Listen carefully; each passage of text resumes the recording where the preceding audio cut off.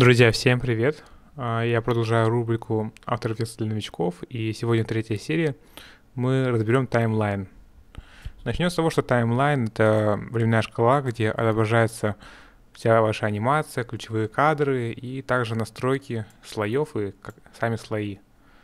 На таймлайне отображаются композиции, их вы можете найти на панели Project. Допустим, у вас э, есть эта композиция, если вы ее сдублируете, то у вас будет совершенно другая композиция. Предположим, здесь я могу поменять картинку. У меня все останется также здесь. Также можете ее удалить.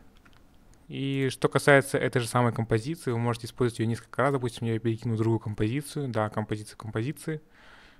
То таким образом вы можете ее использовать несколько раз. Там, допустим, дублировать. Ctrl-D на таймлайне. Допустим, раскину картинки, но, допустим, если вы зайдете в Composition, и здесь поменяете что-нибудь, все это дело обновится в следующих композициях. Таким образом, это одна и та же композиция, просто продублированная. А теперь переходим к таймлайну. Здесь у нас есть э, отметка времени. Она у меня в секундах. Это в случае, если у вас есть какое-нибудь действие, допустим, у вас видео или анимация. Вы можете изменить его на э, кадры. С зажатым Ctrl меняете. Далее у нас есть э, слой. В данном случае у меня фотография. Вы можете создавать другие слои. Это текст, solid, э, свет, камера и так далее. О них мы более подробнее поговорим в следующем уроке, поскольку эта тема достаточно обширная. У нас есть э, возможность ви- убрать видимость у слоя, включить соло режим.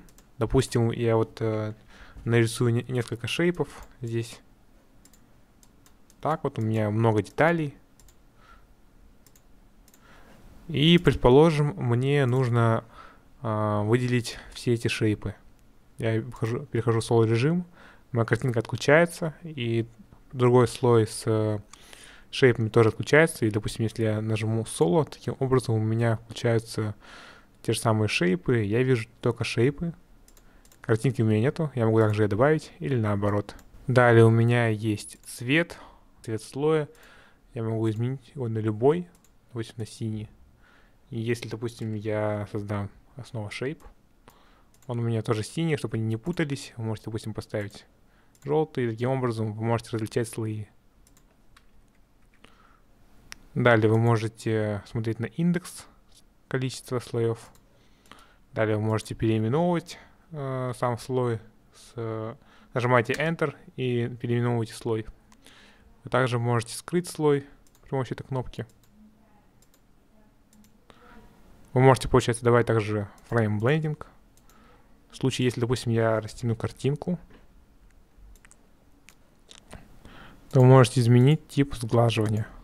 Далее, допустим, если у меня на моем слое есть какой-нибудь эффект, допустим, это будет curves, вы можете э, отключить эффект, точнее группу эффектов. Допустим, у меня есть curves и еще несколько других эффектов. Это sharpen, резкость. Таким образом, нажимая эту кнопку, у меня отключаются все эффекты, или вы можете отключать их по очередности. У нас также есть э, параметр motion blur. Допустим, у меня есть какая-нибудь анимация. У меня получается такая вот анимация. Как вы можете заметить, все достаточно плавное и четкое. Но если я включу Motion Blur, обратите внимание, когда я нажал на кнопку Motion Blur, у меня автоматически включилась эта же кнопка. Без нее Motion Blur не будет работать. И получается более реалистичнее. Получается размытие движения. Размытие движения много зависит от э, скорости анимации. Поэтому чем быстрее, тем более размыто. Чем медленнее, то тем, наоборот, будет э, более четко. Так, следующий параметр это Adjustment Layer. Допустим, у меня есть несколько слоев. Я снова зарисую шейпы. Допустим, на каждый шейп, если применять, допустим, эффект Fill, чтобы перекрасить их, допустим, Fill, у меня перекрасится только один слой. Но если я создам Adjustment Layer, Layer New, Adjustment Layer, то можете заметить, у этого слоя автоматически появилась такая вот кнопочка. Можете ее включить или выключить. Так, без нее это просто белый solid. И накинуть, эм, допустим, эффект Invert. Нет, нет, лучше fill.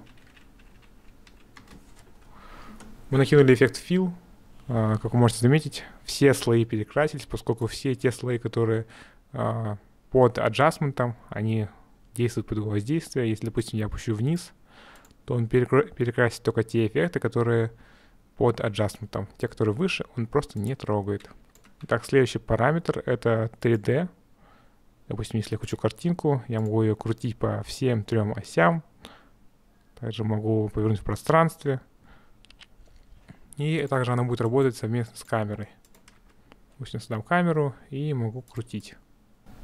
Итак, следующий параметр это parent and link. Этот параметр позволяет связывать объекты, привязывать. Допустим, я создам нулевой объект, и к нему я могу привязать ту же самую картинку. У меня уже есть анимация, если, допустим, без нее я подвину картинку, то у меня изменится анимация, поскольку я изменил позицию. Но если я, допустим, привяжу к нулю, то я могу спокойно двигать картинку, и при этом ничего не поменяется в плане анимации. Таким образом вы можете привязывать э, ваши картинки не обязательно к нулю. Вы можете создать текст, любой текст, это чисто пример, и привязать его к картинке. Таким образом ваш текст будет следовать за картинкой. Далее у нас есть возможность менять режимы при помощи этой кнопки или при помощи F4. Таким образом у нас меняется уже уходит панель 3D, у нас появляется параметр наложения. Вы можете здесь выбрать все классические режимы, которые есть. Положим, если у вас черный экран, как вы знаете, вы можете выбрать скрин. Для тех, кто знаком с, с монтажом, тех, кто нет, прошу в этом плане ознакомиться. И также вы можете при, при помощи этой кнопки добавить еще дополнительные параметры. Это изменение длины. Вы можете изменять длину видео при помощи параметра duration – или при помощи stretch. Stretch более быстрее. С помощью duration вы можете выбрать определенный момент. Также при помощи параметра in и out вы можете подрезать ваше видео, в моем случае это картинка. Таким образом вот так вот подрезать.